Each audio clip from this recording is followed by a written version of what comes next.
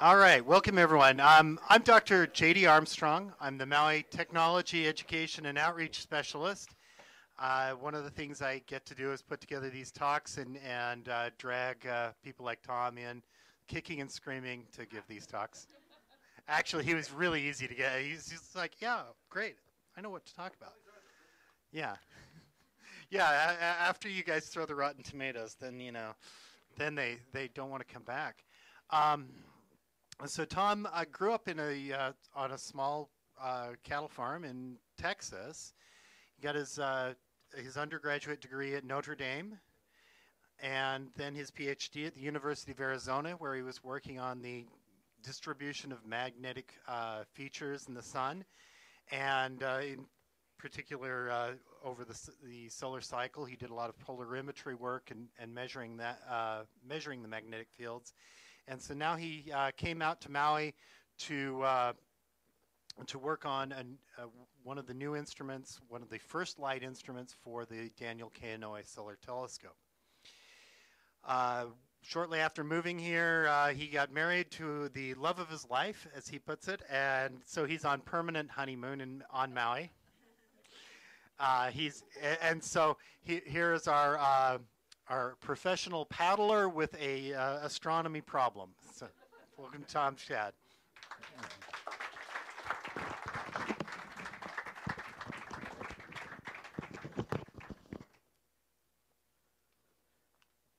I'm starting to mess this up. Safan, can you can you hear me fine? Okay, I'll try not to vary just too much. I sometimes get excited. anyway, um, I have to thank JD, even though he just ran away, for roping me, kicking and screaming to come give this talk. Um, I wasn't kicking and I wasn't screaming. I actually enjoy these talks quite a bit because what it gives us an opportunity to do is really share the exciting things that are going on in, in solar astronomy and here at the IFA and, and the great engineering feats that we're doing with these these new instruments that we're developing for the Daniel K. Inouye Solar Telescope. So it's a great opportunity for that. Unfortunately, I'm not taking it. I'm not talking about any of that.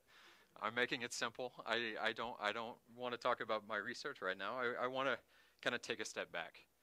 Um, and the reason I really want to take this step back is is that outside.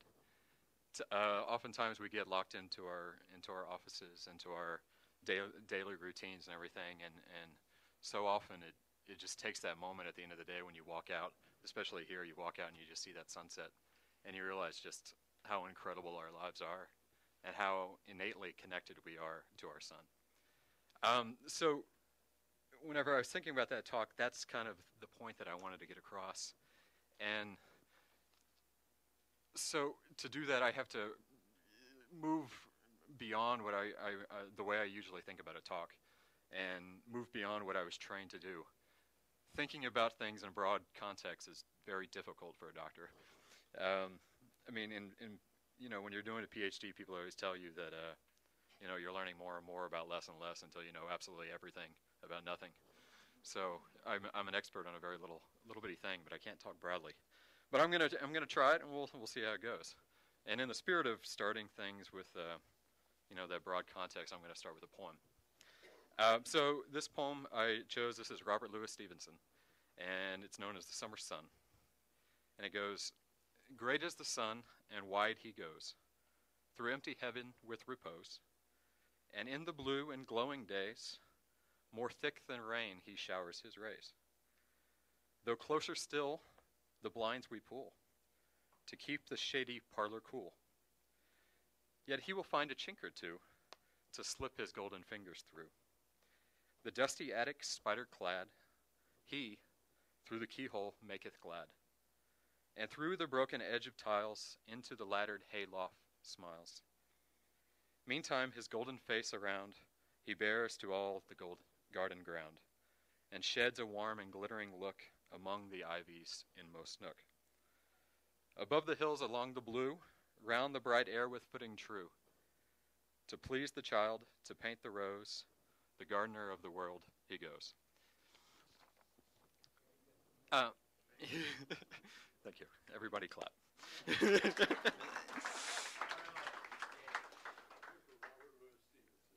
He's great. So in that spirit, I want to show you how much I love looking at the sun and, and studying the sun. So I want this experience to be back and forth. So instead of focusing on research, I'm kind of going to focus a little bit on history and, and our relation to the sun. And at any point in this talk, if you have a question, a comment, an anecdote you want to give, some kind of relationship to the sun, or just to the talk in general, please feel free to do that. And if my talk runs past, you know, on the 157th slide, um, I'm not going to worry about it. so maybe, uh, JD, if we could bring down the lights right here.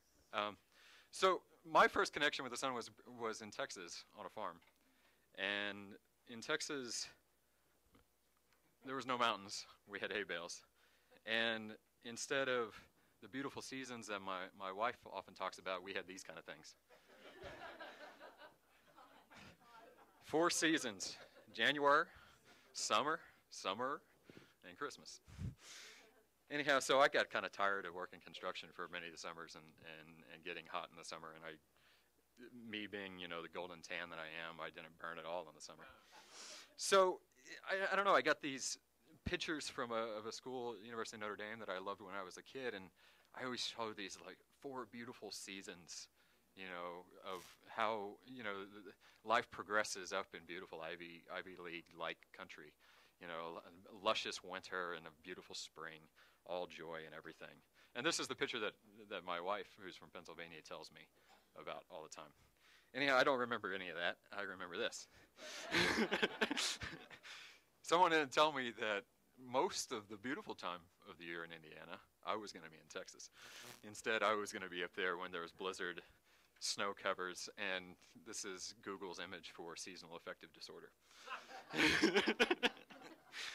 so after four years of that, I decided, yeah, I needed to go dry out in the um, in the desert for a while. So I went down to Tucson, dried myself out a little bit, and it's just, maybe worse. Uh, anyway, then I, I got the opportunity to come to, to Hawaii, and, and I learned what the four seasons meant out here. and I was flipped. yeah, I can deal with this, I thought. Um, however, you know, you, you, start to see the diversity of what seasons look like across the globe and, and how different people connect to how these seasons um, are developed. And it's good to take a step back and just kind of remind us how those seasons come about. Um, so let's go to Astro 101 and think about the seasons. Um, the Earth seasons are a result of the Earth's obliquity, which is just a term for the axial tilt, and its travel around the sun. So what we have here is, is the sun in the center here, and the Earth along its orbit going around and around. Now, in astronomy 101 whenever I taught it in grad school, I would always try to trick up my students in, in the in the first test, and I said, "Well, at what time of the year is the sun closest to the or is the Earth closest to the sun?" And oftentimes they would get it wrong, even though I taught them time after time. But it's actually not the case that the Earth is closest to the sun during the summer, but rather in the winter, our northern winter, the sun is closer to the sun. So, in this orbit of the Earth, you can see many different features. One, you can see that the, the orbit is not a circular circle. Even though it's exaggerated in this, in this diagram, the orbit of our Earth as we travel around the sun is slightly eccentric. So when we're at the closest point of our sun, called perihelion, we're 147 million kilometers away from the sun. However, when we're on the other side of the orbit at aphelion, we're at 152 million kilometers away. It's a very, very small difference, right? It's a very, very tiny difference. But it does have a profound effect on how we interact with the, or, um, with the sun throughout our seasons. The other things you can, you, you can point out here is the tilt, the obliquity. So the obliquity here is as the Earth is going around in its orbit on a flat plane, we'll say, um, it is. The axial position of its rotation, so the point at which um, the Earth is rotating around and around on its on its body is not aligned with that plane. So there's a tilt, right? That tilt is the obliquity or axial tilt, and it's about 23 degrees. So in this in this diagram, what you can see is that this tilt as we go around does not change its orientation. It's always oriented in this way in the diagram. Please, first question. Why does the Earth always stay at that that at that 23 degree tilt? Is it because of the, s- t- the s- angular momentum changes some sort of gyroscope? Beautiful question. Yeah. Repeat the question so people listening Okay. remotely can hear. So the question from our young scholar here is a question of how did the Earth become stable in its axial tilt? Why is it 23 degrees, and is this a consequence of conservation of angular momentum? And in fact, yes, it is. In the in the process of planet formation, when the solar system is collapsing from its cloud, there's a certain amount of angular momentum that pushes these bodies into their orbits, and the residual of that is what brings about this tilt. However, do you know is the tilt constant? Do you know?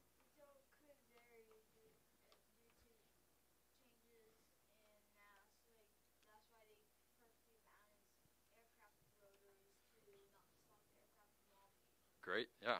And in fact, the Earth is not balanced. It itself, like a top on a table, can precess. So its tilt might be 23.2 degrees right now, but in 10,000 years' time, it might be 21, it might be 25. So that tilt changes throughout our, the eons of, of, our, of our lives. Um, great question. Keep them coming. So you have a, a couple more things here. First, uh, you see the axial tilt is going around. So what does that do? It changes the illumination of the sun on the Earth's body. So in this case, you can see that this portion of the Earth is more illuminated than the other side. Whereas if you go to the other end of the orbit, you can see one hemisphere of the Earth is more illuminated than the other. It's flipped. This is what drives the seasons. But there's considerably more even in, than that in this in this diagram. You can also see that there's a point where there's an equinox. This is the, the normal vernal and uh, uh, autumnal equinoxes where the, the light and day is balanced throughout the day in the hemispheres. Um, however, that's at this point in the orbit, but that does not coincide, coincide with this long axis of the orbit. And that creates some really interesting effects when you uh, look at the sun uh, over the year. But first, let's uh, just take a quick look again at what causes the sequen- s- seasons. The seasons are caused by this axial tilt and the illumination of the sun on the Earth. So when the tilt is directed away, in this case, in the southern hemisphere here, the sun is up for more hours of the day. You get more heat generated, and that's what creates summer. The summer is responding to that extra heat influence from the sun. Uh, complementary to that, of course, the, the northern hemisphere is lacking in sun and it's cooling off in that period. But so back to this idea of, of the interesting effects these different pieces of the orbit um, come up with. So, I don't know, maybe maybe I should just ask this question. People already people probably know this question, but if um, say say you went out every single day at 11 o'clock in the morning on Maui, and you went out and you found where the sun was and you drew a picture and you put where the sun was. And then you did that throughout the whole year and you looked at it, what would you expect?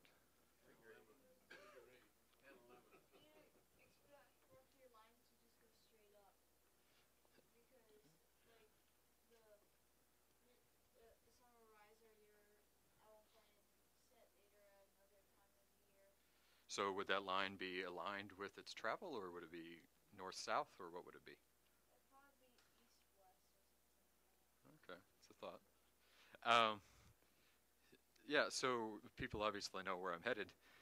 When you do this exercise in, say, Tucson, you get not this straight line, but something that deviates from the straight line a little bit. This is called the analemma. This is a picture of the sun taken at 8:30 in the morning, adjusted for daylight savings time in Ajo, Arizona, by an amateur astronomer.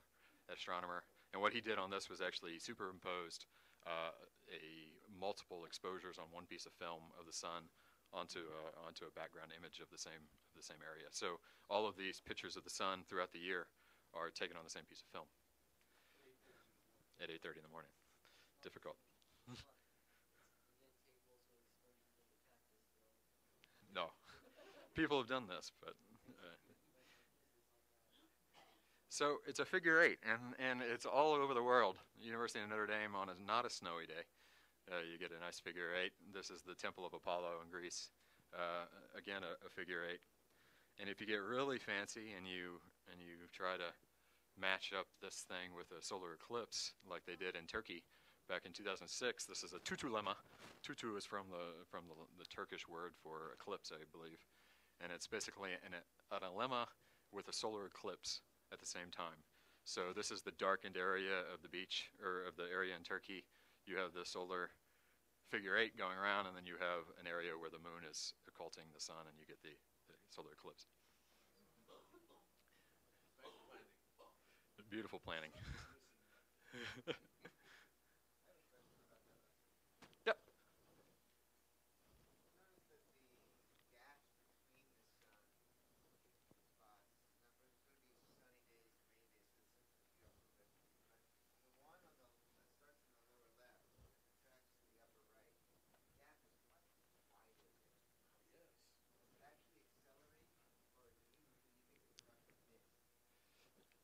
That's a great question because that's my next slide.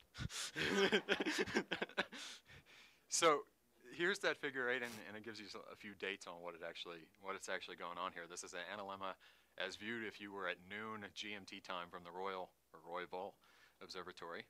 Oh, the image is cutting it off, not Royal Observatory. Uh, Green, uh, the Greenwich, England. And what you see is this variation of where the sun tracks throughout the year. Um, and what you can see is the dates starting early January, tracking around through middle of summer, and then coming back down, right? So this is the trajectory it comes.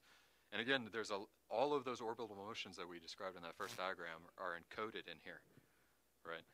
So one thing you can see is that um, this distance between where the sun is on the bottom of this plot to the top of this plot is 23.2 times 2 degrees. So that's the Earth's obliquity moving the sun in the sky up and down. So the axial tilt is what's is what's creating that, and this is this motion in this direction is a consequence of the Earth's seasons. Okay. Yep. I'd like to comment that the, a lot of the practical things about taking pictures of an analemma are, have, have to do with cloud cover too, and that could account for that spotty performance and or make it look Right, right. Um, so, but but you can also see that there's a nonlinear effect because of of how these motions track throughout the year. For example, the the time it takes the sun to go from this point on October 1st to September 1st is much. This is a much further distance in in the image than say December to November, right? Um, so, but then there's a couple other things. The southern solstice and the northern solstice Remember, this is the time when the uh, you're at the longest time, longest uh, days of the year, or longest nights of the year. You're at the edge where the sun has reached its pinnacle, or its or its uh, highest point in the sky in your year. However, these points when these happen are here and here. It's not symmetric along this line, right? And that's exactly because of this phase shift between where the aphelion and perihelion of the, of the orbit is and where the solstices are. Remember, the solstices are coupled with the obliquity, the axial tilt, whereas this deviation in this, this direction, which we haven't discussed much, is actually due to the eccentricity. Um, so let's look at that again. The three primary orbital drivers of what makes this shape are the obliquity, the eccentricity, and this phase difference. Remember, the phase difference is is essentially this angle between the line of these solstices and the line of the ap apsides. Forget how you say that. But basically this phase shift. If this, this point was here, then you wouldn't get this anti-symmetric, or this, or not anti-symmetric, but the asymmetric view of that pattern. Um, so if you decouple that motion, as people have done, where you look at what's called the, the equation of time for a, for a solar system body, and you look at the different parameters of how that plots on a, on a plot, um, basically, um, what you see is, is in these figures, but I think before I come here, I need to uh, explain one, one other thing. Um,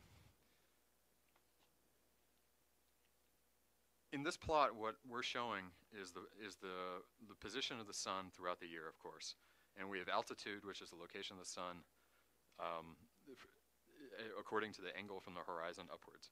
But in this angle, we have azimuth, which right here I'm saying is facing terrestrial south. This is at, in London. However, what this azimuth is is a time difference. It corresponds to a time difference of when you expect to see the sun and when you don't when you do see the sun. If if you were in a circular orbit and you're going around and around and around and everything's symmetrical and everything's uniform, you would expect to see the sun at the same point of time every single day, right? That would be the line, exactly what he was saying, right? But our orbit is very slightly eccentric, and what happens when you have an eccentricity, if you go back to Johannes Kepler's laws of the solar system, is you have a slight difference in the rate at which the Earth goes around in its orbit. So the the second law of, of Kepler was that you a body will stra- um, cover equal angles um, as projected from the sun in equal amount of time, equal, equal areas. Sorry. Um, so when you get near perihelion, the body actually accelerates in order to cover more area in this area. So whenever the Earth is coming around perihelion, the Earth is moving faster in its orbit, and when it's at aphelion, it's l- moving slower. So what that ends up happening is whenever your your body is, is your Earth is rotating, you expect to see the sun at a certain time, but that sun is going to be not only um, in a position according to where you are in your rotation, but also where you are in your orbit. And if you're going faster than, than what you would expect otherwise, then the sun would be lagging. It would be a little bit behind. It would be a little slower. It would plot uh, basically. Um, and if you were in perihelion, you would expect it to be faster. And that's this side. So it's that eccentricity that's, that's controlling this deviation in this direction. Um, so these are those decouple motions. So this is basically the time difference of when you would expect to see the sun if everything was uniform, everything was the mean solar time, and when you actually do as a phase time of the year.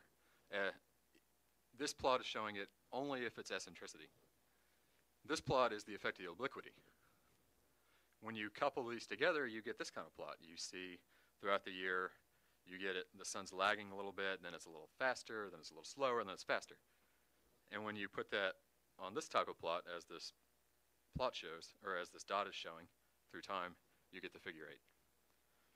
Um, so a consequence of that solar, uh, slower, faster um, expectation of where the sun is is sunrise, sunset times. So oftentimes you think about the sun being longer or shorter uh, depending on when you are in the year, when you're in the season. But uh, at least for me, whenever I'm trying to paddle or trying to do something else, I often don't think about when the sunrise is, is going to happen. Sometimes I'll Google it and I'll figure out when it is. Sorry, astronomers don't have a sundial or something on their watch. Uh, but as a consequence of this faster and slower, you can see the effect on the sunrise times. For example, um, in this area of the year, which you can't see it on this plot right now, this is October and this is February, so this is northern winter. You can see that in this part of the time, the sun is lagging behind uh, uh, this, or sorry, the sun is going faster in this plot on this time, and the sunrise comes early. It's at 6:20 in the morning. On this other side, the sunrise is coming a little later because the orbit is going a little slower and the sun rises later. That same thing happens up in the summertime, right? Different parts of the summer, you get a little different time in the sunrises. But notice that they're not that big, uh, not, not that difference. This is 15 minutes compared to 40 minutes. And that, again, is that orbital motion. So now, uh, there's many probably have seen this next picture or this next simulation, but I'm going to blow your mind and I'm going to ask somebody to explain this. This is what it looks like on Mars. it's not a figure eight, right? So this is what the analemma would look like from Mars, um, according to an illustrator at NASA who is taking this from the Mars Pathfinder mission uh, at the Sagan Memorial Station of, of where it was um, deployed on the surface of Mars. It's not a figure eight, it's a, it's a teardrop. Um, and we know actually now that this is the, the case for sure, even though we knew it before, we just didn't have the measurements, because NASA Opportunity has start, started to take all sky cams and plot the, the location of the sun in that all sky as a function of time. So what you see here in this background is NASA Opportunities rover, which is taking a picture at 11:02 mean solar Mars time. Um, don't ask me what that is. but what you can see is an all-sky wraparound panoramic video uh, image, so you can see the surface or the horizon of Mars wrap all the way around. This is the sun high in the sky near noon, and this is the plot of where the sun tracks throughout the year. So if you saw a video of this, this is what it looked like. And in fact, they also have a sundial that is used for an image calibration routine on NASA Opportunity that you can plot the position of the shadow as a function of time, and you get this same teardrop. Um, so why is this? Well, someone already said it. Well, do you have, what do you think? Y- you are on the right direction, but flip it. You are you are right. It's it, it has something to do with the eccentricity, but it, it happens that Mars has a higher eccentricity, right? So on the left again we have Earth. The obliquity is 23.4 degrees on average right now. The obliquity of Mars is very similar, it's 25 degrees. The eccentricity of Earth is pretty small, as we showed. It's only a couple couple million kilometers difference throughout the year. The eccentricity of Mars is nine times higher. So between aphelion and perihelion, there's a 43 million kilometer difference.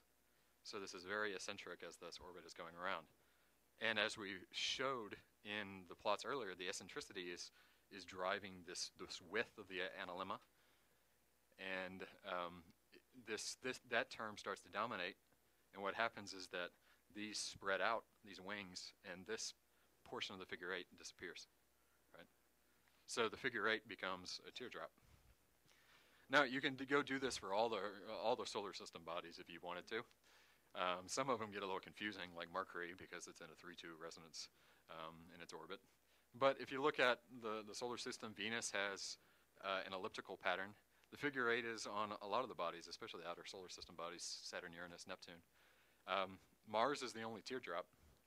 Even though Saturn, I say it's a figure eight, but it's a tiny, tiny figure eight. If you were ever to have a chance to land on Saturn and measure it, which is not going to happen, um, it would be very, very hard to figure where that little bitty loop was because the eccentricity still dominates. Um, and then Jupiter still has this ellipse, and Mars is the one that has the true teardrop. So I, I, I started this talk about the sun and our effects of the lives and the seasons, and I've we've talked a lot about orbital motions and analemmas, and uh, you're either bored or you're excited. I don't know. I'm kind of excited. I'm happy about it. Um, but I, I, feared that maybe some people weren't going to be so excited, and maybe okay, we get it. Let's move on. So this is me saying, okay, I'm going to move on. But I'm still excited about this history in orbital motion in some ways, and I and I want to now uh, think about this as prehistoric folks did, and think about the impact that this orbital motion has had on cultures across the across the many uh, centuries.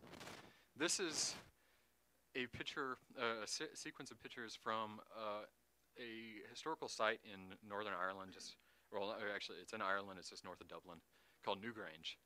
It's in County Howth, no Howth, Meath, County Meath, and what it is is a large burial ground that has its origins of about 3200 BC.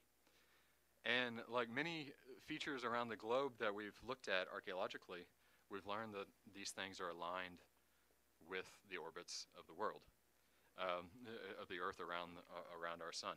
So Newgrange is here, a big burial mound with an entrance. That entrance here has some some rocks in front that actually have um, kind of a trinity symbol that think, or the scholars think, uh, has something to do with an, an infinite light, life, or uh, uh, uh, an experience of, of life moving forward and, and progressing. Um, you have an opening here that goes down a shaft, and that shaft is shown here. and it's 63 feet in to where the burial grounds are, and it's uh, directly aligned. Um, it has yeah 63 feet down into the middle of this of this hill, and there's multiple of these in in Ireland. This is the one that's the the best preserved.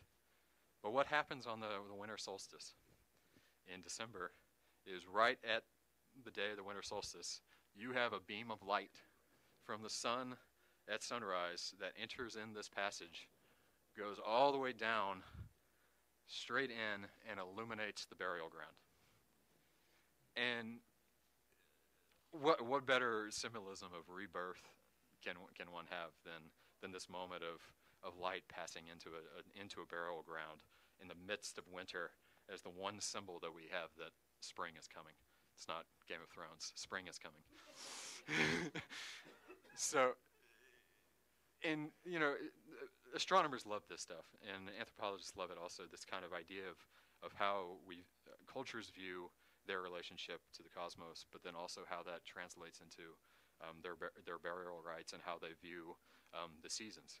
But it also has a very practical standpoint. I mean, um, the, practic- the practicality of this of this instrument for them is an is an observatory. This is an astronomical observatory for the Neol- Neolithic peoples of, of Ireland to tell them when spring is coming, to tell them when to get their seeds ready and when to plant, and when um, they might, uh, how long they should expect to hold out for the winter, and and and, and what's going to happen next in their lives. Sorry, there was a question. Did I get my solstices mes- messed up? It's not spring, it's summer and winter solstice. Right. Spring and uh, equinox. Spring and fall equinox. You have it right Yeah. because it's so low on the horizon. Right. Those are maxima, infinite uh, altitude of the sun. Cardinal states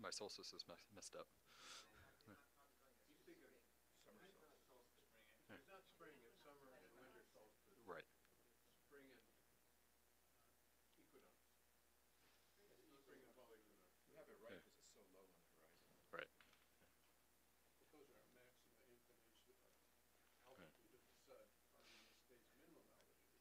Repeat this. Oh, so so the the, the question was um, was why is it the winter solstice instead of the spring solstice when uh, sorry I don't why would you expect this the spring solstice no spring solstice. Summer oh sorry summer solstice Yeah. fields. so the, the yeah so the, so the reason the, the winter solstice is, is the one that's used is that's that endpoint of where that of the sun is stopping and it's going to reverse the motion in the sky so it's it's a it's a clear motion it's a clear right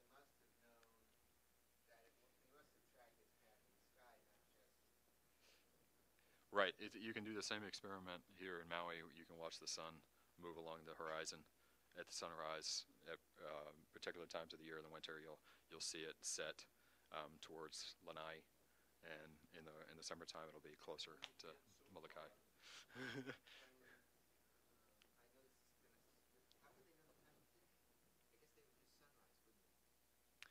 Uh, right, they they wouldn't know the time of day other than, other than the sunrise and the length of the day. There was no clock, sundial. They could plot out. Yeah, and if you were really one who was wanting accuracy, like the British were in, in the 18th century, you could make that correction of the analemma of, of when you see the shadow in a particular area, you can say that the shadow hits this particular point, you can add 10, 15 minutes to it, and this is the actual time. And that's the kind of accuracy the British did in the 18th century. Anyway, so it's not only Ireland; it's it's it's all the place. I mean, it's Stonehenge. Stonehenge has astronomical alignment with the solstices. Also, this is uh, an Indian site in the southwest Pueblo area for uh, Native Americans. The pyramids in in Egypt are um, considered by some to be astronomically aligned. Um, so the sun is constantly in this cultural place of significance and importance in our lives. It, it continues. In Egypt, of course, we start to get into the ideas of, of the sun being a body itself and a god that one should worship. So the Egypts had the, the, the sun king Ra. Um, in the left, you can see in the hieroglyphics. The, uh, the um, Incas in South America, Machu Picchu, uh, used their site at their highest sacred mountaintop to uh, to serve as an astronomical observatory and actually um, try to capture the sun at, at its height so that they could link, so that they could get the most out of the out of the sun day and have a longest day. So they, they would wait for the sun to get its the highest in the year, and then they would try to grab it down. Um, that has a very large symbol, uh, uh, uh, analogy to, to Maui. You'll see in a second. Um, there were in, in, Buddhist cultures, you have a have a similar sun king. I forget his name now. Um, this is Taiyang Shen, the Chinese solar deity. Um, in Hindu's cultures, you also have uh, Zun, Siru, and in the Mayans, uh, you you have uh, similar sun gods. Um, but to to bring it back home a little bit, now we can talk a little bit about Hawaiian cultures and and our connection with this um, Hawaiian culture connection with the sun. And this is something that I, uh, unfortunately, I, I, didn't know much about until this last week, and I got excited about it. Um, but in Hawaiian culture, we have the the ancient chief deity Maui. Maui was a was a, a, revered chief who is considered the father of the island. So one of one of the things that Maui did was he took his brothers. He was known as a trickster, and he said he was going to take his brothers out onto a, uh, onto a canoe for some fishing with his mighty great Maui fishhook that you see pictures and tattoos and, and license plates of. And he went out, and his brothers didn't know what he was doing, but he said, paddle, paddle, paddle, you'll, you'll be fine, you know, Imua. And he put his hook out, and with his hook, he hooked the ocean floor and he pulled up an island.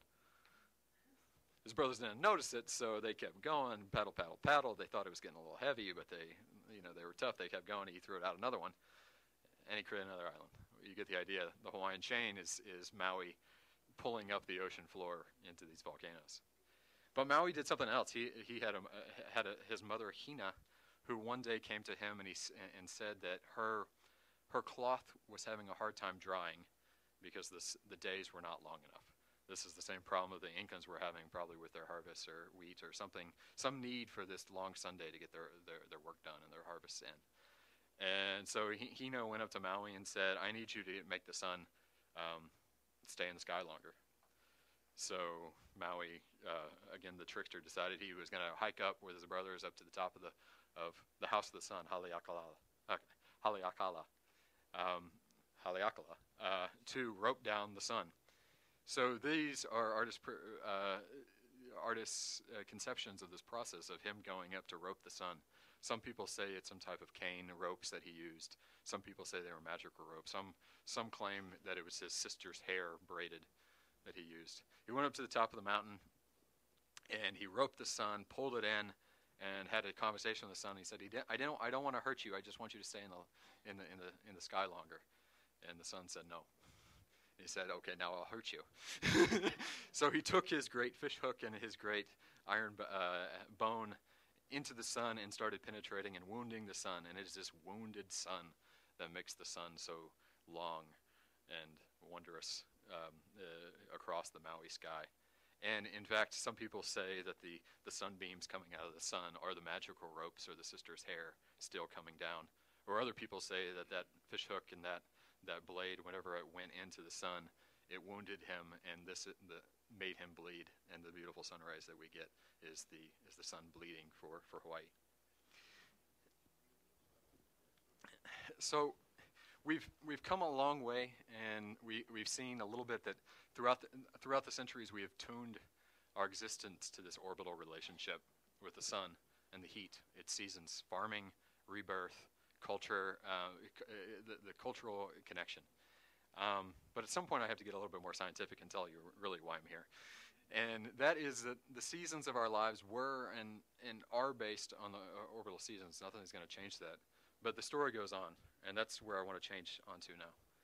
Um, the story now goes to 1859, not that long ago, to an observatory with a couple of amateur astronomers in England um, named Richard Carrington and Richard Hodgson, who on the 1st of September in 1859, we're looking at the sun, the sun, which many still at those days considered to be a, a uniform uh, uh, gas ball. He was looking at sunspots, these weird things that Galileo in the in the 17th century had found for the for the Catholic Church, and and other people had been tracking. and he start he he was really looking at it, and there was no CCD cameras in this day. There was there was not film to create movies in these days. So he was actively sitting there with an eyepiece or with his projection on the sun, looking at the at the um, these sunspots. And what he saw and what he drew in September 1st was this being the sun. This is a dark area of a sunspot with this kind of a, a cooler region around it, which is what sunspots normally look like. But then he drew these little hooks here, these white, brightening bright points. This is the very first observation of a solar flare um, in history. And to date, it's the biggest solar flare ever recorded in history. That's the reason he could see it. It was so prominent that he could see it in white light without any, spect- any spectral analysis, no e- e- e- UV uh, uh, filters, nothing at all. He could see it with his bare eye. He could see the flare going off. This is something that doesn't happen very often. Um, but again, this is not the first time sunspots were measured, but this is the first time a flare was measured, and this was a was a very special one. Um, but going back a little bit, Galileo was the one who first really started the systematic measure of sunspots, and it was in 1610, roughly, that he turned his scope to this to the sun, and um, so the telescope was newly born then. Astronomy was rapidly developing. He was uh, measuring the Galilean satellites around Jupiter, but he was also looking at the paths of these dark things on the sun. And this is one of his drawings back in the 17th century of the illuminated sphere with some dark areas, patchy sunspots around. And he saw these dark areas on the sun and he thought that they were just some dark clouds. Yep, question in the back.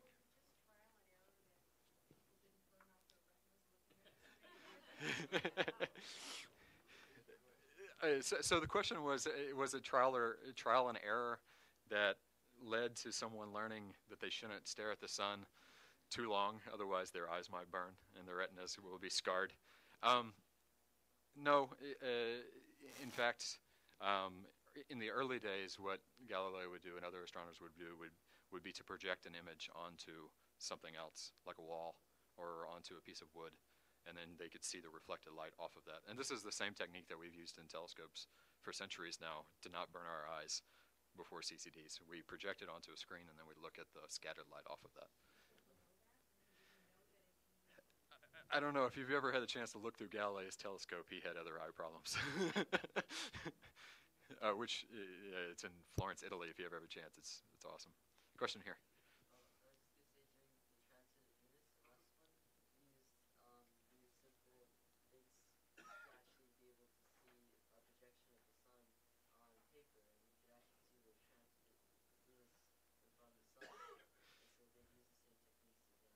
Same way. And, and pinhole cameras.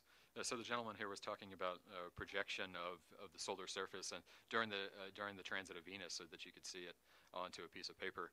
And um, that same techniques can be can be used um, using pinhole cameras or uh, even leaves in a, in a tree during a solar eclipse. You can see some imaging effects uh, that are really neat. Anyhow, Gal- Galileo was looking at the sunspots and he thought they were dark clouds.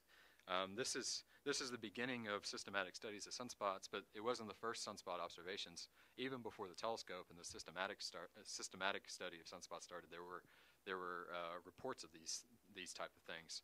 This is from John of Worcester in England, uh, his chronicles in 1128, where he describes this enormous black area on the sun. I'm assuming that this is the size of the sun, and this is the area of the sunspot filling up what, in relation to the sun, would be about four Jupiters across.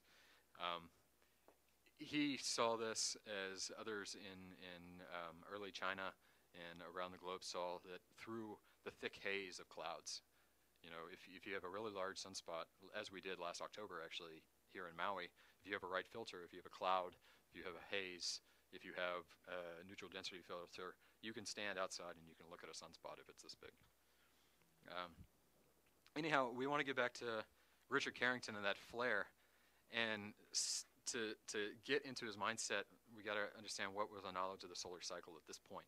At this point, um, in 1859, people were making uh, systematic studies of sunspots since Galileo, and a German astronomer named Schwab um, was criti- uh, was of critical value in this study. And in 1843, he, he published a little report that said that after he had watched sunspots for 17 years, after every day watching for 17 years over and over and over again, looking for patterns, not really knowing what they were, just doing his astronomy. After 17 years, he realized that the number of sunspots waxed and waned over the years. And we now call this the solar cycle. So this is back in his in his period, and this is this blue line is the number of sunspots versus time. So you can see the number of sunspots growing and decaying, growing and decaying, on average about every 11 years. Um, so Richard Carrington knew about these observations, and he and he knew that the sun had these had these seasons going on, um, but he didn't have the piece, the connection of why these might be important. I mean, if you look at reports from uh, William Herschel, another famous astronomer, he he thought that sunspots, all that they were, were breaks in the clouds that you could look down at the solar inhabitants who were living on the planetary surface of the sun. Um, that's not the case. Instead, these are very uh, high sinks of energy, or high, high, high uh, wells of energy, um, of magnetic energy. But he didn't, he didn't know the influence here.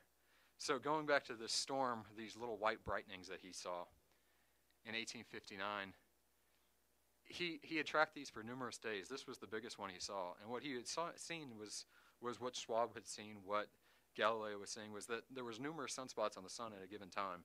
And this time period between August 28th and se September 2nd, there was a lot. There was a numerous and they were large.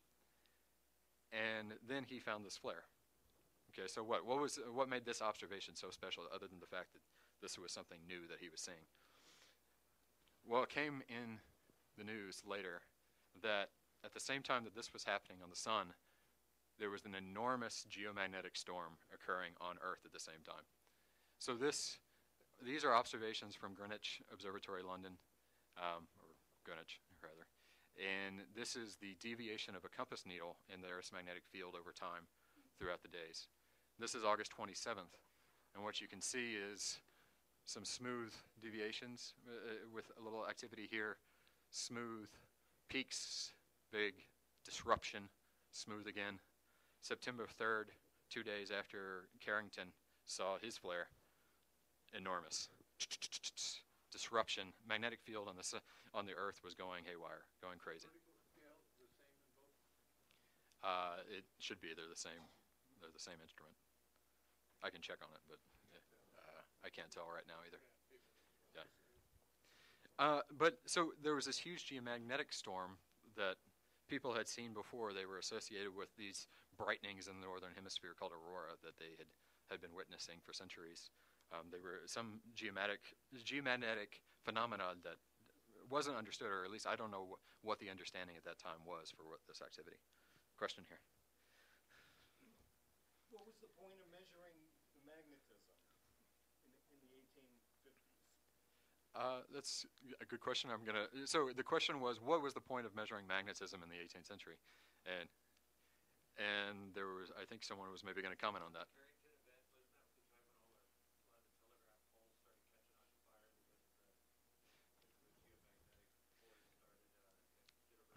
That's true. Yeah, and uh, so so the comment was uh, the the geomagnetic storm was happening at a time when telegraph machines were being disrupted also, and we'll get to that. But so why were they me measuring the ge the geomagnetic forces or these storms at that time? Um, I'm not going to speculate. I, I, could come up with a couple of reasons, but I I, I don't know offhand. I'm sorry.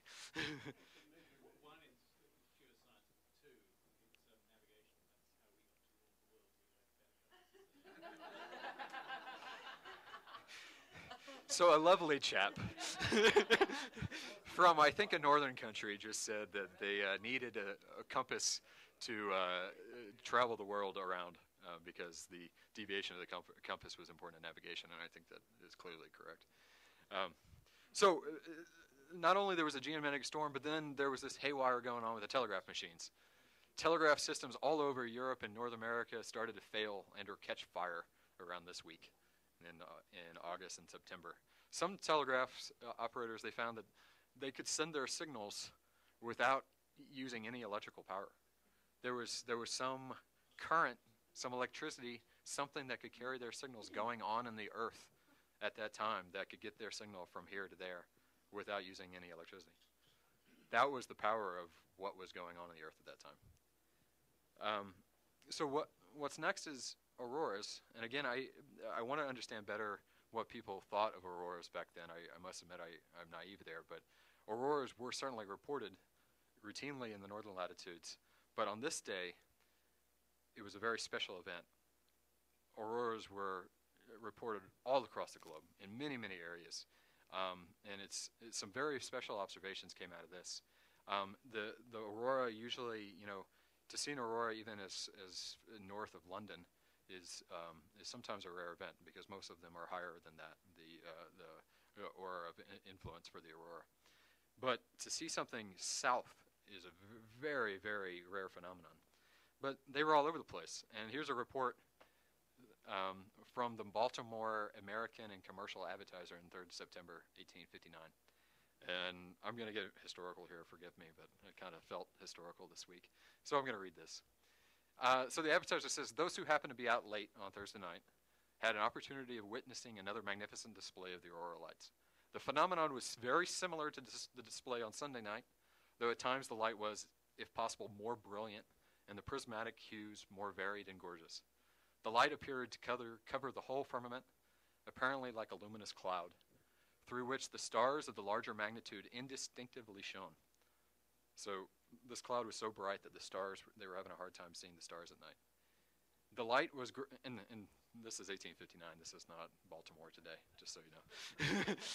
the, so the light was greater even than that of the moon at its full, but had an indescribable softness and delicacy that seemed to envelop everything upon which it rested.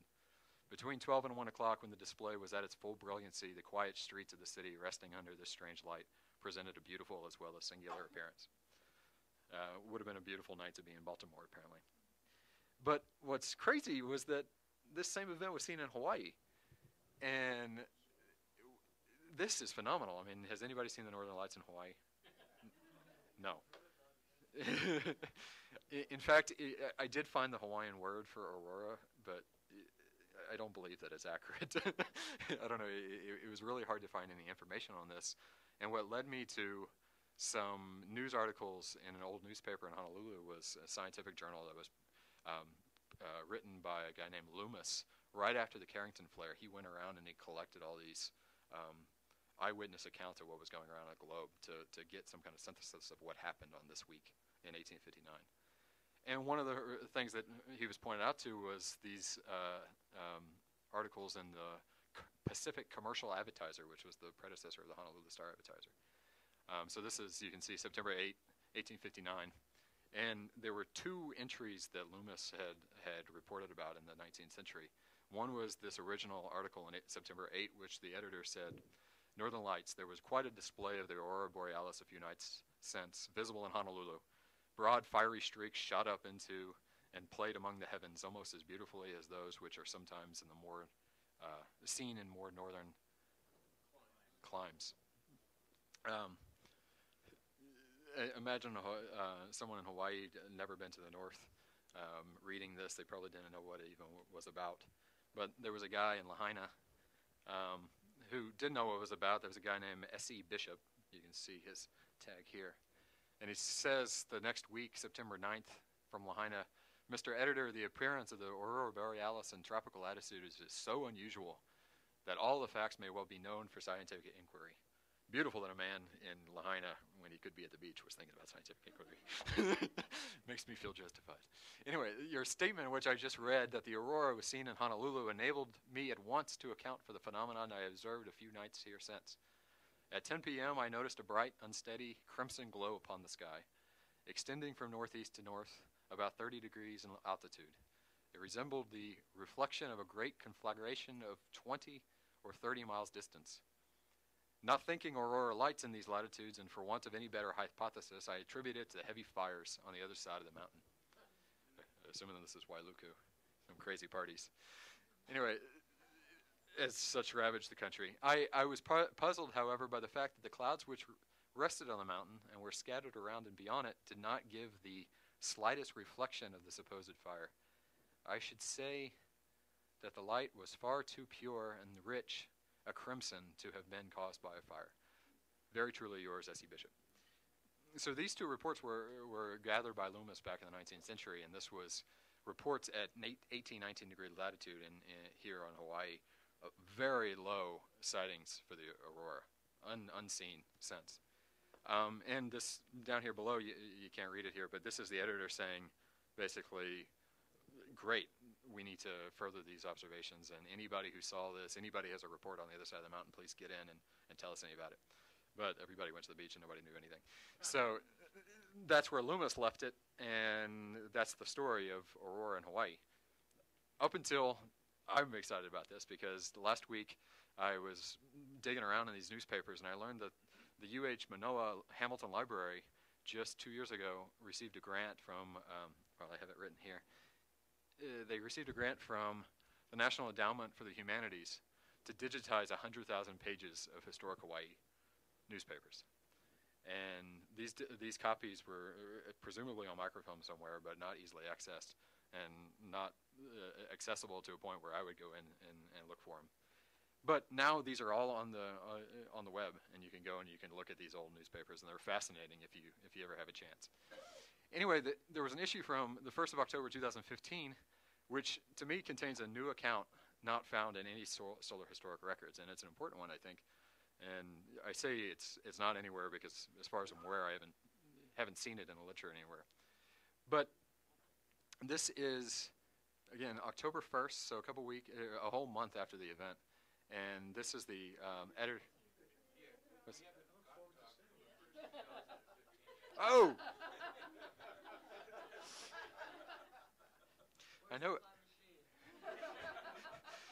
So for you, uh, for you at home, it was pointed out that 2015 was not when this paper came out. October 1st, 1859. Thanks. uh, I should have had some coffee whenever I was writing the slide.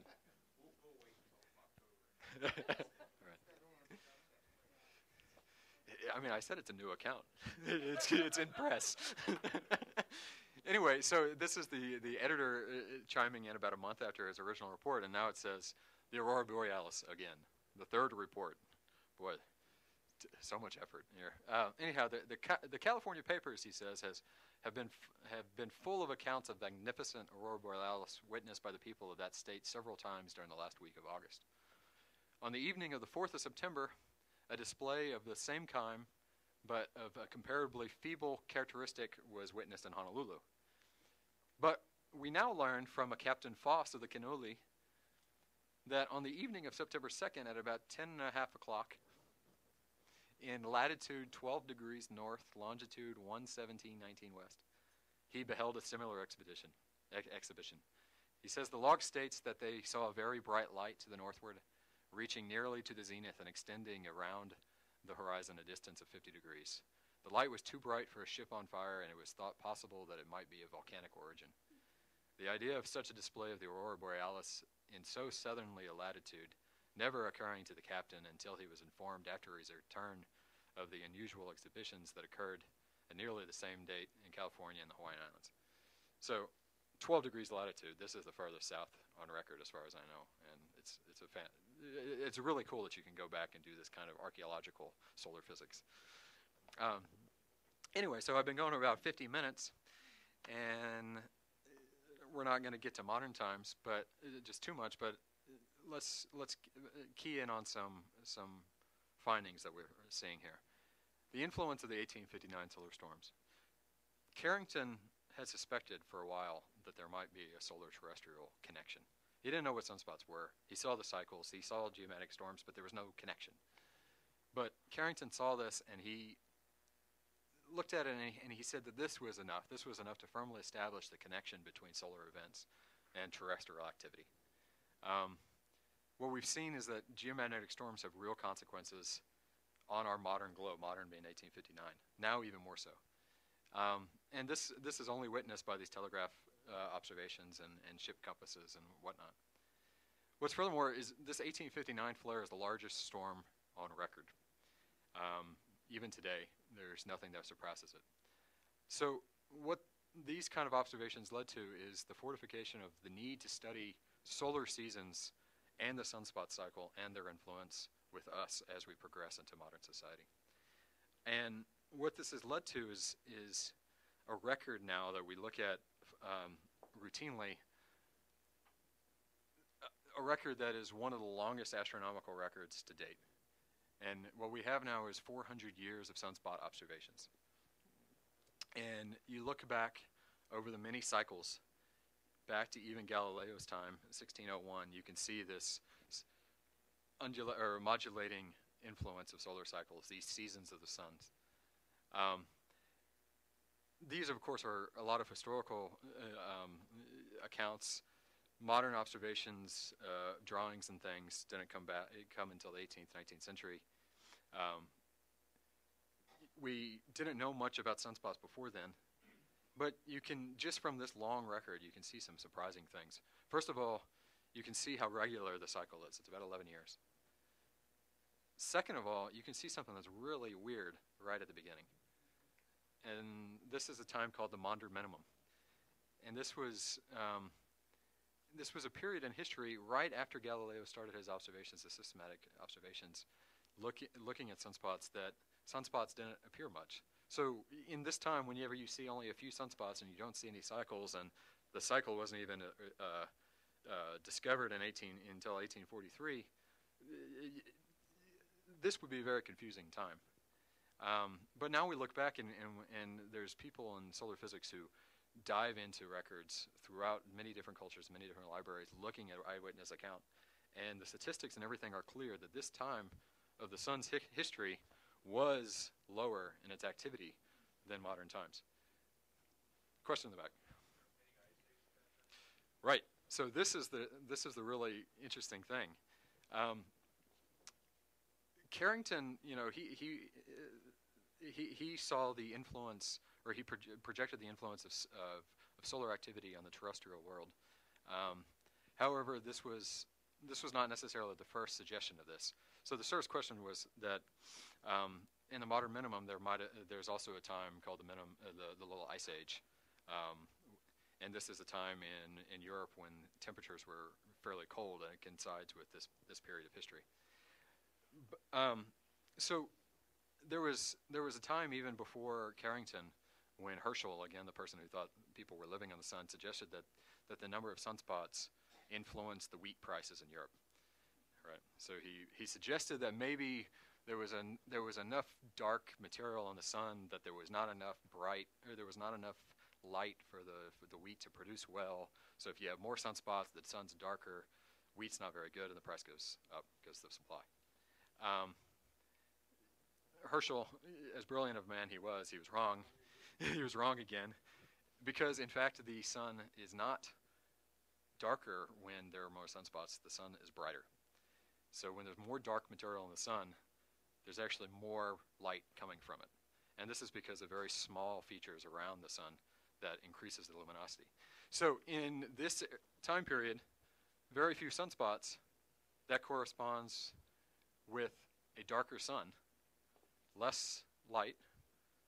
Maybe you could correlate then the influence of sunspots with climate, and people have done this, and, and people go wild with, with this idea. I mean, in London, in this time, they were having festivals on the Thames when Tem- the Thames flood bank would, would freeze over in the wintertime. Um, th- this is this is a piece of solar uh, of, uh, of solar influence on our climate system that is uh, really um, uh, tightly researched, and there's not a consensus, in my opinion, uh, on on whether that correlation is really causal yet. Um, but the other thing I want to mention, just because it's a cool anecdote, was that in this particular time, also little ice age that was cold in Europe, there was a man named Stradivarius who was making violins. and one of the craziest correlations, I think, in my mind, and I, and I love it because my, my wife is a, a musician, and I can tell her that my, my work has some influence on hers. But some people said the Little Ice Age was this time so um, so cold in Europe that the the trees that grew during that time had to grow very tight little condensed rings around it, made it for a very dense wood, and that made the beautiful hollow or the beautiful resonant sounds of Stradivarius's violins.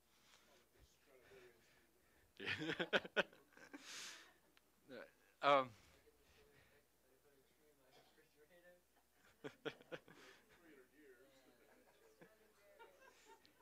but so what you can see al- already how clearly important it is for us to study the historical record of the sun. But it, it can be uh, hard fought because modern observations and our understanding of the sun progresses all the time. And, you know, we didn't discover even that the sunspot had a magnetic field until 1908. We didn't have the, the tools really to routinely measure those magnetic fields until the 50s. And we didn't have CCD cameras until the late 60s and 70s. And they weren't routinely used in astronomy until the 80s. So the great characterization of the solar cycles happens all in the modern era. But the interesting things that are happening on long cycles are happening back when we don't have records. So this, there's this mixture of looking at the archives, looking at the reports, but then somehow trying to correlate those with modern records making the postulate that that's even makes sense that we can take what's going on in the sun right now and somehow extrapolate what's going on in the back. And that's something that we, we don't have a good handle with. Um, we can use tree rings we can use ice cores but the linearness of that relationship between these variables and what happened in those times is is not that easy to, to establish. Um, so I think, uh, as I've been going on for an hour, anytime you want to again uh, interject, let me know. But uh, I'll just wrap up with a, a, few quick observations of the sun. Now, what we kind of know, and I'll, I'll go through this very quickly. Um, the sun now is routinely ob- observed from space, from the ground, by astronomers all around the world. This um, endeavor of importance of the sun, both as an astronomical um, Rosetta Stone to, to unlock the secrets of the, of the universe through other stars, but also the importance of this as, as a solar terrestrial driver, um, is, is, is a bond that unites cultures across the globe and that every, every de- uh, developed nation is, is seeking more understanding of. So, more pictures of the sun are taken every day than you would even imagine. So, this, the, these, uh, these images are from the HMI helioseismic imager experiment on board the Solar Dynamics Observatory, which is up in a geosynchronous order, orbit above the um, uh, above the Earth, and it takes an image like th- um, uh, like this one every. Uh, see, this instrument is about one every eight seconds, and it does it 24 hours a day, and it's been doing it for six years. And this is two cameras for this instrument, and there's four, five, six, at least six cameras on the on the spacecraft. So it's millions and millions and millions of images. Yeah. Anybody wants to see my desk? There's hard drives stacked up this high full of data. Question in the back. clarify something on that point. I understand that both of those uh, came together in equidistant about last year. And there's a time period they say that they'll be equidistantly apart and one will actually drift off. Where now we have to complete 360 degree view. So how long is that time period that we'll have that view before we lose it? Right. So uh, uh, the question was about a um, the observatory in space that gives us a 3D perspective of the sun. How how how well do we ha- have a coverage across the whole 360s um, sphere of the of the sun?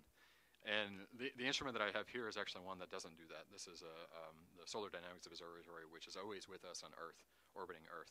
But there's another set of NASA satellites that are a pair of satellites called Stereo, which are orbiting slightly uh, uh, ahead and behind in Earth's orbit at uh, further and shorter distances from the sun, which means that these satellites, due to again Kepler's third law, um, will mean that the, the satellites progressively get further apart and then wrap around the sun. So, at particular times in their lifetime, you get different angles of the of the sun that we can't get from Earth. And right now, um, stereo is in a position where you can actually get a full 3D picture of what's going on in the sun. So we can see what's going on on, the backside of the surface now. Um, and the lifetime of that observatory, I don't know how long it is, but it's still going, and, and I believe that they're starting to con- converge back on the backside. But once it gets on the backside, the real challenge is going to be data rates because of the distance it takes the data to travel from that from the backside of the surface or the backside of the sun to us again, um, and the interference from the sun. So all of these observatories that are in space have to deal with the same si- uh, the same climate, uh, the solar effects that we deal with on Earth, but uh, many uh, magnitude more. So they're affected by what they're trying to study. Question right here. Why not instead send out two more satellites to go out further around to basically the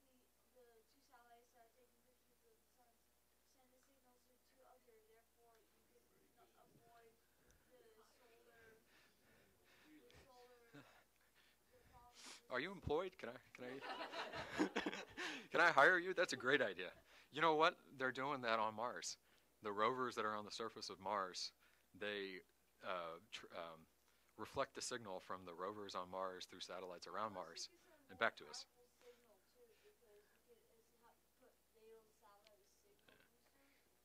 Yeah. So, so the young man up here, uh, for those who don't hear, said that why don't we use a, an additional set of satellites to um, to transmit or uh, reflect the the signals from the backside of the surface or backside of the sun, so we get a stronger signal, and we can do that. Uh, you have to just grow up and build it.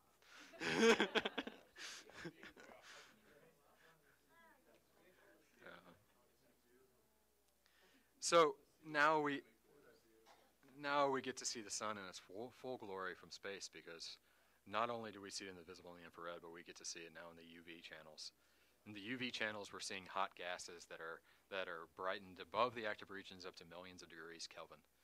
So the material that you're looking at here, particularly in the left image in um, this uh, UV band at 171 angstroms, is the solar corona at about a million degrees above active regions. So underneath here, there's pockets of magnetic field that are associated with sunspots.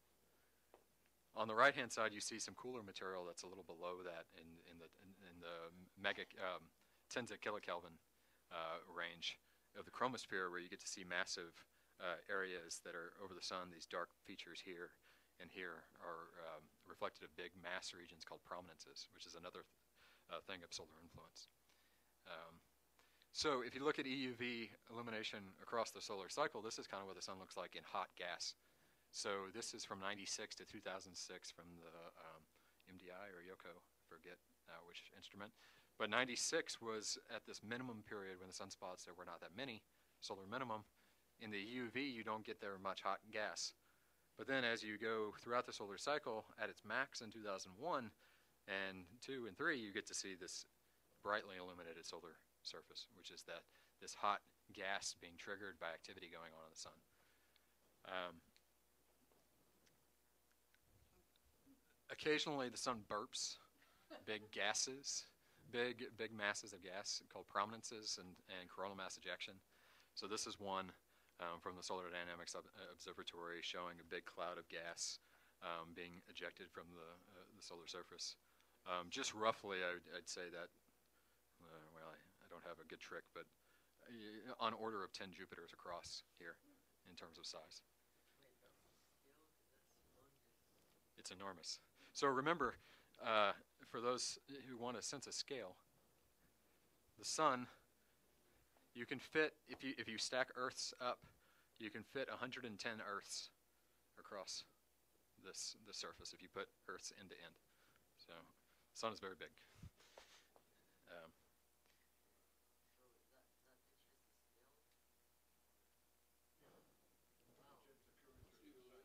yeah. Is the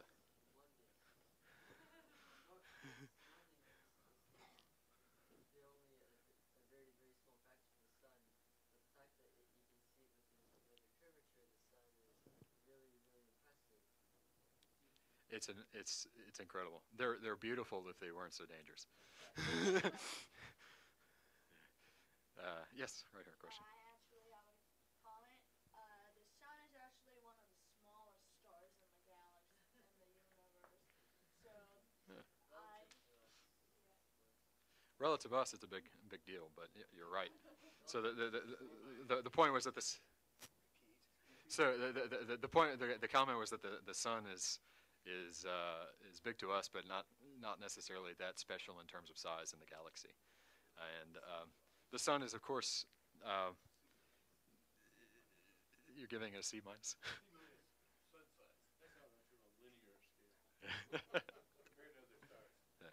Um, so the the sun, of course, is a is a middle-aged star. It's kind of boring to a lot of astronomers. Um, well, it used to be. Now it turns out they're very useful for uh, looking around for extrasolar planets. In, in addition to those burps of mass, you have burps of energy, and they, these are the modern solar flare observations from UV spectrographs or UV filtergraph instruments. So what what Carrington saw in these little bitty ribbons, these little white things, this was what's going on at UV. huge brightening that the detector of the CCD actually bleeds out and saturates, and all of these, all, all of those photons start to, to mix across the CCD. Yeah. Um, so.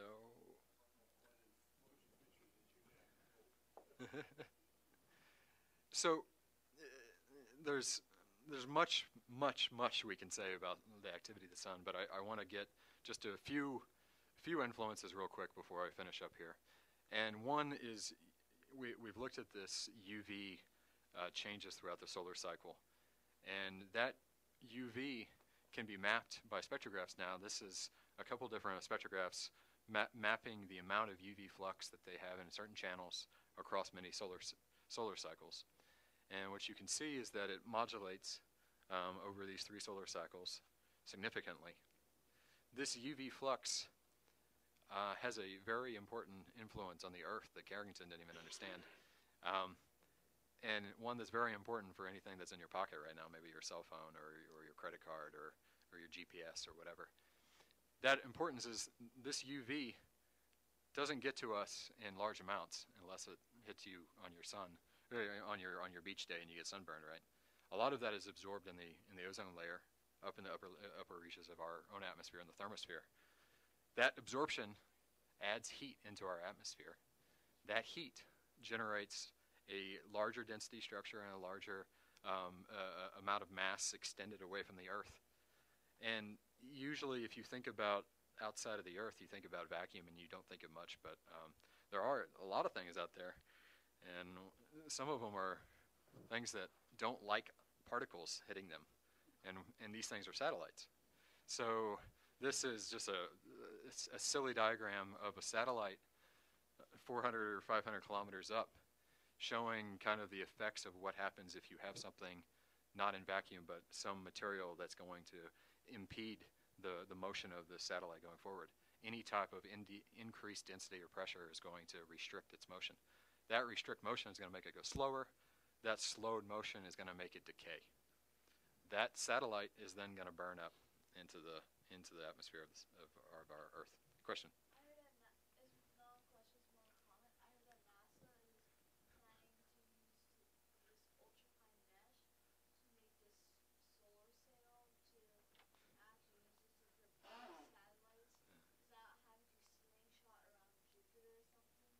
Yeah, it's an amazing technology. So the young man brought up solar sails that, that NASA is, is starting to develop to, to be able to harness solar wind and also photon energy to, to push things out into further space. But right now, um, that's in the near in the future. Right now, what happens with these satellites is if you're a satellite company interested in keeping your satellite in space, you either have to put enough fuel on this thing to to push it back up whenever the satellite comes back down from the drag, or you have to keep enough satellites in your pocket that you can just keep throwing them up. But what's important is that is is that this cycles right over the cycle, and one cycle is bigger than the next. This one is particularly weird. You see a really low low minimum here for this last solar cycle in 2010. The, it's inking back up and it's actually returned a little bit. But the amount of drag on satellites is tightly correlated with how much UV flux is being put out by the sun. So if you're an insurance agent or someone who wanted to invest in a satellite company, or if you were a satellite company wanting to measure how much risk you have in the next century for your satellites that are costing a couple hundred million a piece or a couple tens of million a piece, you want to know what's happening here. So this is one of the, one of the reasons that people like me and other people are employed pragmatically, despite our despite our, our love for just looking at the things. Um, another thing is that these flares uh, not only mess up telegraphs. Now that now they have shown that they mess up other things in the earth, and this is our power grid. These electric currents that you're sending the signals across in the in 1859 on a telegraph. These electric currents are giving us power to this room.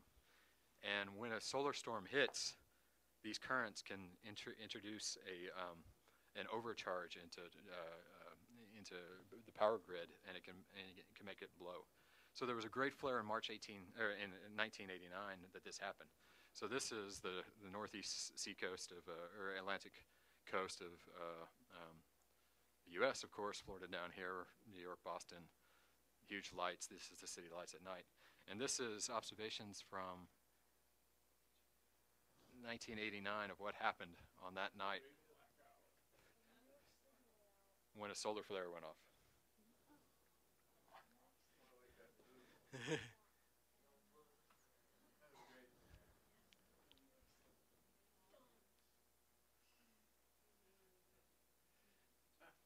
so you, you could imagine just what chaos would happen in this in this case.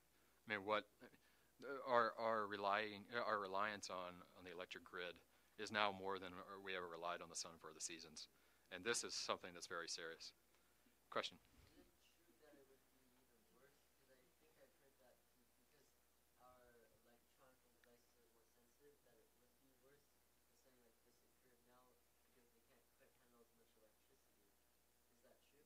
In some cases, that's true. Some cases, it's not. It depends on the design, and people are getting better and better at doing doing this.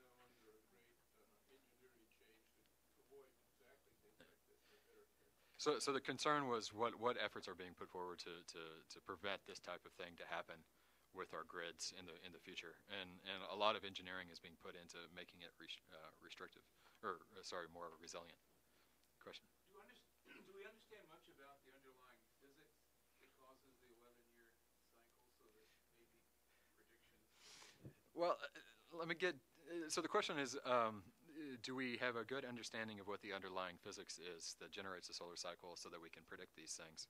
Um, let me get to that in two slides. I'll get it, sir. Um, but uh, let me finish a couple slides, and then we'll we'll move to more questions here in a, in a minute. Whoever wants to stick around.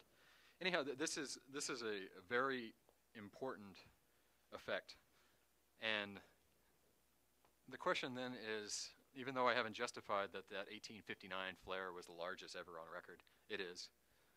Um, what if that happened today? Well, lo- first of all, if it happened today, it would look s- sort of like this in a modern observation. This is what Carrington drew. This is what uh, HMI, uh, I believe it HMI or, or Hinode saw on a, on, a, on a sunspot, these little white ribbons. But that one is a lot more powerful than this one, and we know that just from the terrestrial record. But Lloyd's of London, which is an insurance company, I believe, and other philanthropy, um, went about this exercise a few years ago to estimate what the cost, cost of the destruction would be of this one flare going off. This flare that happened only 150 years ago. How much it would it cost right now? And it's 0.6 to 2.6 trillion dollars. Um, I'm not trying to argue that you should employ me. All I'm trying to say is that this is important, and and that it's it's something going forward that we need to understand more about, and I and I hope more people get in, in, in interested in it. So back to your question, sir, of what do we understand about the physics of the solar cycle? Depends on who you ask. There are many people who think that they've solved the problem, and many people think that they've projected it and they've predicted it. They know what the solar cycle is going to be. Um, they put out papers um, saying that it's going to do such a thing. Other people put out papers that say they're wrong. Um, I'm usually in the second part of that because I'm conservative natured. But uh, here's a paper from 2008 back in the solar minimum when people thought the sunspots weren't going to come back because it was so low we hadn't seen anything going on in a while. And people started putting out predictions for what the next solar cycle was. And their prediction was based on what the greatest number of sunspots is going to be for that cycle. Here's all the papers, all the journal articles. And every one of them, if you go in, they can make an argument for them knowing the physics, or some argument. Some predicted down below 40 for the number of sunspots. This is a weighted number. Some predicted to be about 180. For uh, to register this, this is about the smallest sunspot cycle you've ever seen on record. This is about the biggest. So, you tell me if we know uh, uh, enough.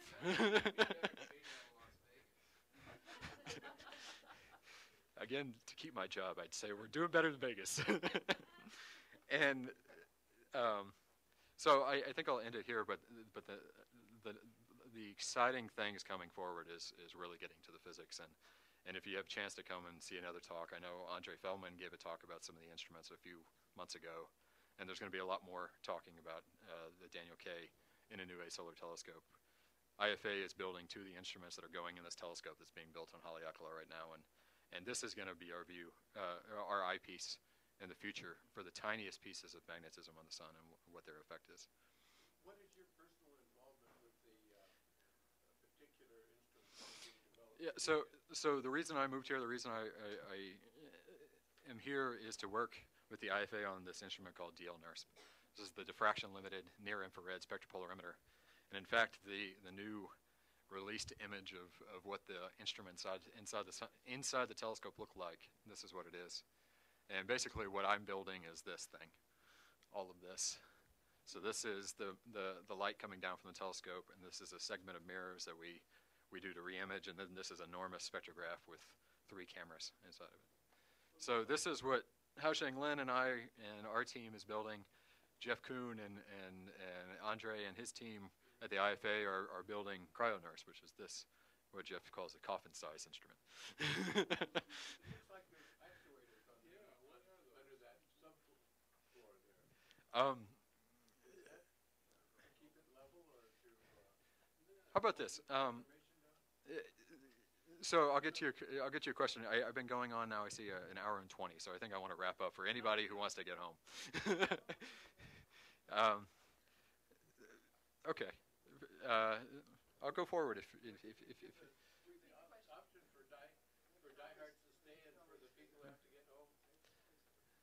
Uh, okay. Uh, well, uh, how about this? Let me. Uh, uh, there's a segment about this instrument that I'd like to talk about. I have a few slides and a few movies and things that we can say. Um, but but let me get to my point and get to the ending so that people who want to go home and can go. Um, so. So I, I kind of return back to this importance of the sun, and I think we've seen some of the effects and, and some of the importance over history, and and and to me, the impact of the sun still is both not my, my job, but also still going back to that sunset every day. And I, I kind of like to start or end this formal part of it as I finished. Not, not, well, it was my idea all from the start, but then I got a better idea whenever I, I looked at the Pacific uh, advertiser and I saw this Northern Light thing. And then I read up here, it said, the Dashaways. Um, on Saturday evening, a lecture was delivered before the Dashaways. This is in Hawaii. The lecture, which was an excellent one, was concluded by a poem descriptive of the rise and progress of the institution, abounding in happy sallies of wit and hum- humorous allusions, which kept his audience in a tumult of laughter from the commencement to the close.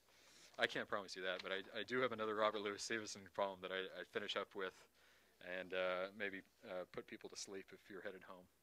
And this one is called The Sun Travels. Um, so, The Sun Travels by Robert Louis Stevenson. The sun is not a bed when I, at night, upon my pillow lie. Still round the earth he takes his way he takes, and morning after morning makes. While here at home in shining day, we round the sunny garden play. Each little Indian sleepy head is being kissed and put to bed. And when at eve I rise from tea, day dawns beyond the Atlantic Sea, and all the children in the west are getting up and being dressed. Um, yeah, I like that one.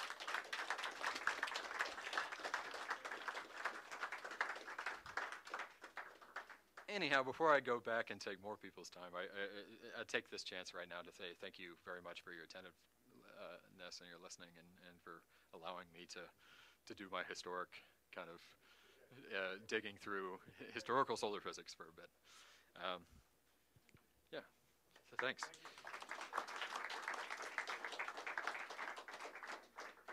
I saw some stress la- polishing there. You want to see it? Yeah, let's, let's, uh, What am I training to do on a primer? So, so uh, briefly, we'll go into this. Um, the, the Daniel K. Inouye tele- Solar Telescope has been a long time coming, and what it is is a is a telescope that's bigger than anything we've ever built for solar physics. It's it's what someone has said. I forget who said it. It's it's it's more impactful for solar physics now. It's a it's as big of an impact now for solar physics as Galileo's first telescope. It's that it's that magnitude, and the reason it is is that the the mirror is four meters in aperture, where the biggest thing we've ever built to date is about 1.5 meters to two. So this is huge. This is 16 times the thing. It's going to be on Haleakala, 10,000 feet high, um, and it's going to have really advanced instruments in it. Um,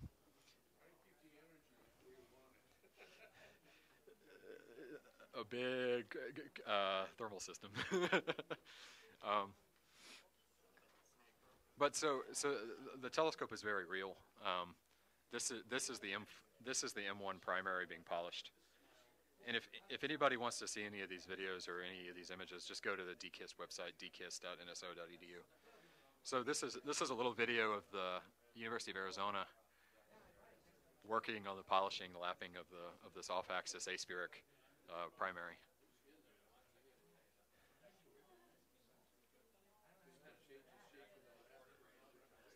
Yeah, so so this this machine is actively putting pressure on the lapping such that we can uh, achieve the prescription that we want over time.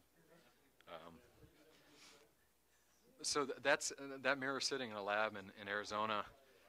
The telescope enclosure itself, uh, a few months ago, was sitting on a concrete pad in Spain, and has recently been packed up and shipped, and will be in sight this spring. So this is a picture of it in Spain. Here's the the big telescope mount.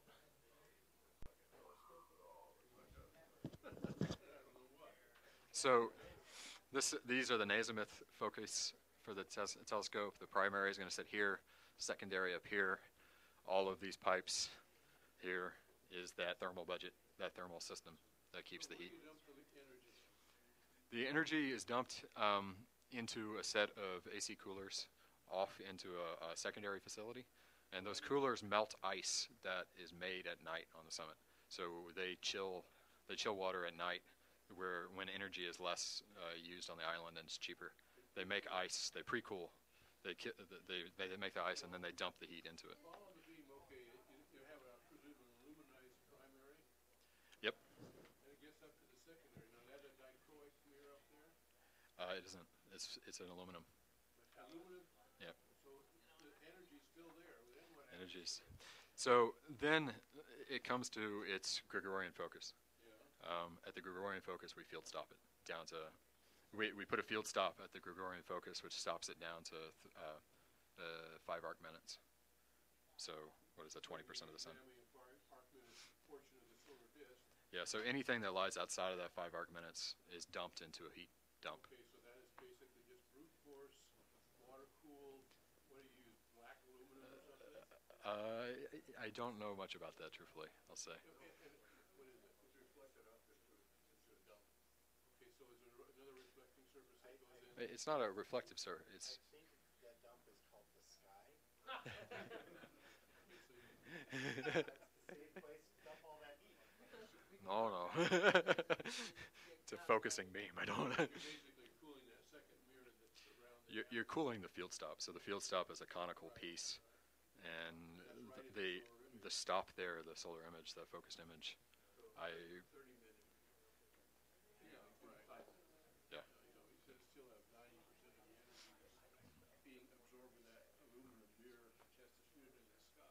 Got a question? Why instead of water, why don't you use liquid nitrogen or liquid carbon dioxide? Uh, so right. So why don't we use liquid nitrogen or liquid uh, carbon dioxide? Um, it would be nice. There's a lot. There's a lot of thermal energy there. Um, but water actually, yeah, the specific heat of water is is very high, so it can sop up a lot of heat without being dissipated. So, and it's and it's a lot cheaper. It's a lot cheaper. Uh, yeah, let me. Uh, so, uh, a video or two of this thing. This is the telescope mount moving around.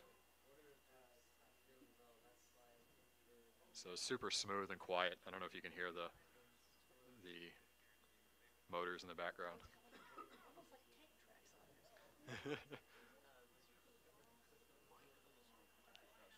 so this this huge telescope mount assembly is, uh, I think, being disassembled now in a in a factory in Rockford, Illinois.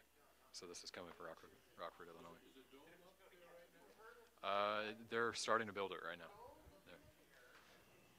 And then that coudé lab where they put all the instruments is, is here. This was a movie, but I guess not. So this um, this platform is the same that's being shown here, where all the instruments are.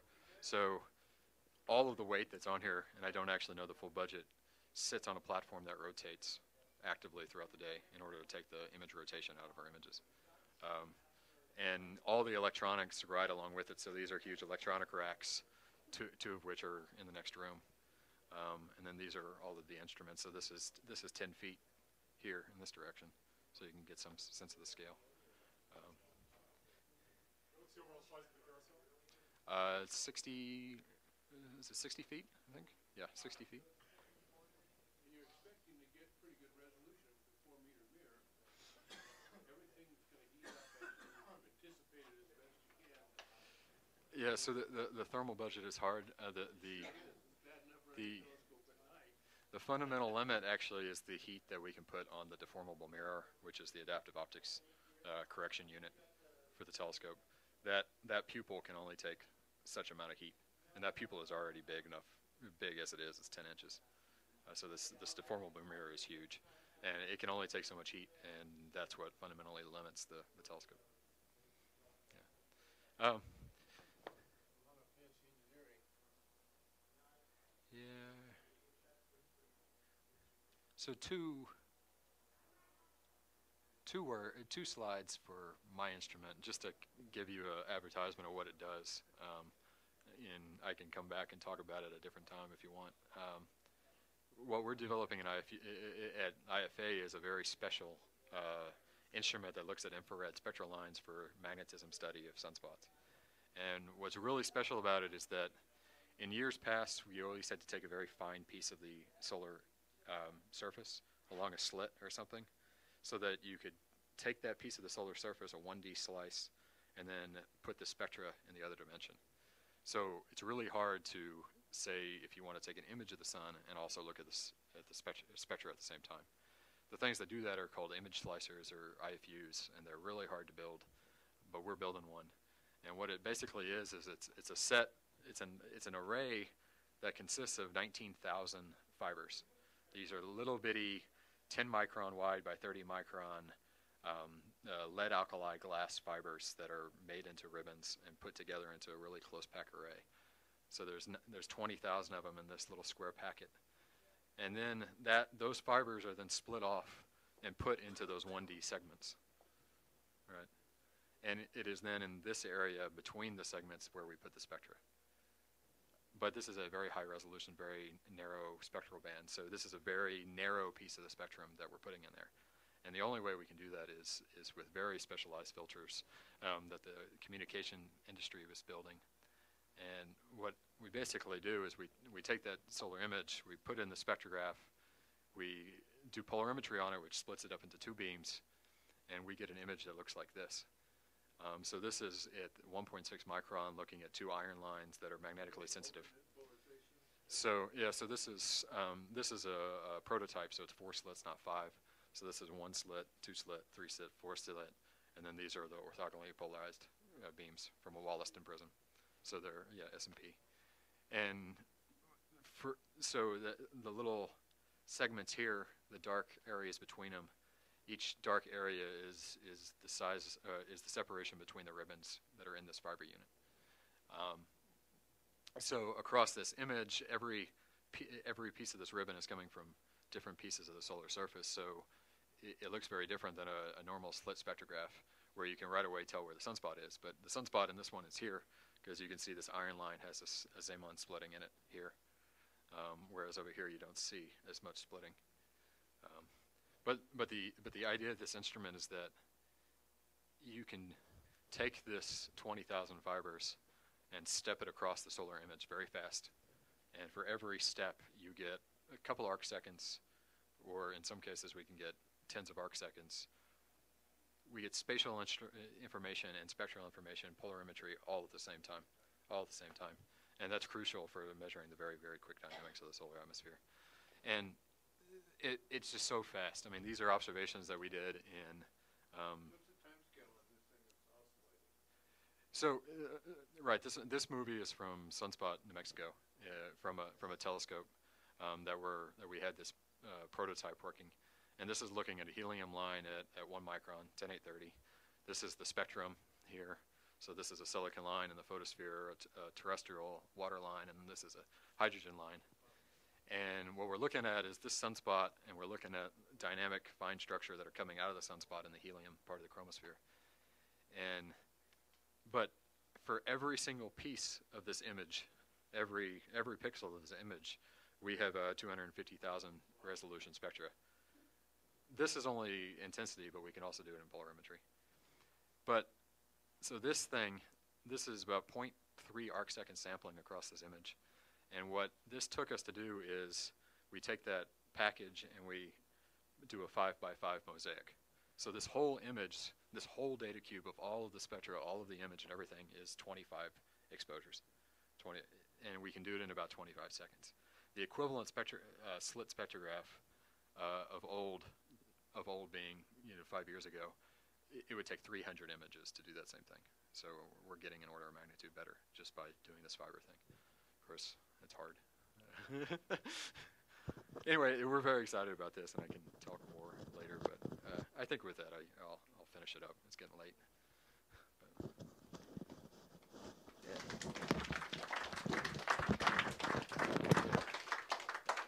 Again, again th thanks for every, thanks for everybody coming around, and uh, I'll stick around for a few minutes if anybody wants to talk. But uh, thanks, thanks again.